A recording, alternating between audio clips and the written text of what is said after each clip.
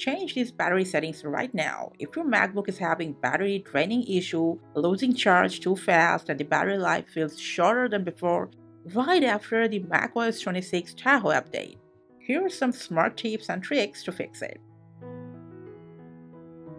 Alright, so first let's talk about the display appearance and brightness. From settings, first we're going to go to appearance. It's recommended that you can select dark mode to make the battery last longer with every single charge.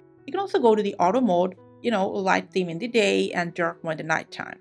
Next, let's go to the battery settings. As you can see from here, you can check your current battery health and also you can check out, you know, the overall battery usage pattern on your Mac. So we're going to change a few settings in here. First, let's go to the battery health info. And in here, just make sure to enable optimize battery charging for the overall benefit of your battery health and then press done. After that, redirect yourself to the options section. Here, you can keep this slightly dim the display options enabled. We're going to talk a bit more about display later in this video. The wake for network access is set to always. That means how frequently it wakes up your Mac when it's on sleep mode for sending notifications, which of course keeps draining battery, so better to keep this option on when it's plugged in. And after that, there is an optimized video streaming option when it's running on battery. It's another smart way to save a lot of battery. So if you want, you can keep it enabled.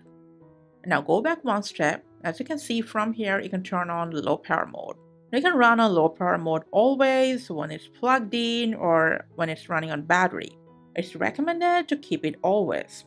The only catch is this might interfere with some functions like notifications and stuff like that. So it's totally your call. Now next we're gonna go to wallpaper. Now if you have any screen saver turned on, this might keep switching to that and your home screen, so better keep it turned off. Now after that, let's go ahead and go to the display settings. Unless you're working outside, you can turn off auto brightness so it doesn't keep adjusting and draining the battery. And also, if you want, you can lower the screen brightness from here or from the control panel. So from here, now we are going to go to lock screen. In here, we got two settings in here that's really handy. You can turn display off when in battery and turn display off on power and set them to specific times. Now next, scroll down for keyboard. If you don't really want your keyboard's backlight, you can turn off keyboard backlight after a specific time of inactivity. Now, this may seem small, but over time, they really help save your MacBook's battery. Now let's get out of the settings and uh, open the Spotlight search and then search for Activity Monitor. Make sure you're in the energy section. Now from here, we can see which apps, programs, or functions are draining the most battery on your Mac.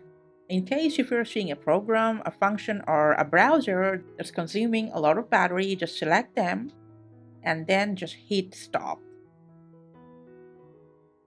Now let's talk about the background apps. So even after you close an app, you'll see this tiny dot under the icons and that means it's still running in the background, consuming battery of course. So you can either right click over the icon, separately quit the apps that you're done using, or you can click on this Apple icon from there to force quit, and then you can close multiple apps at once that's running in the background.